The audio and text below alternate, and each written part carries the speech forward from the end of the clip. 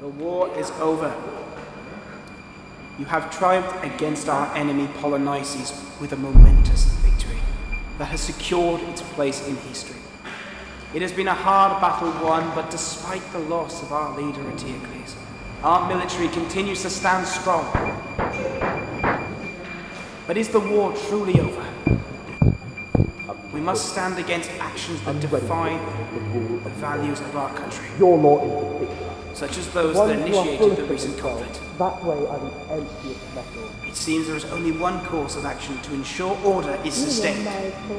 From this day forth, anyone who seeks to commit such acts of treason will face consequences of heightened severity. Justice shall be served swiftly to those who ignore any edict declared by the government. There is no room in this country for traitors. Enough for you to see me executed?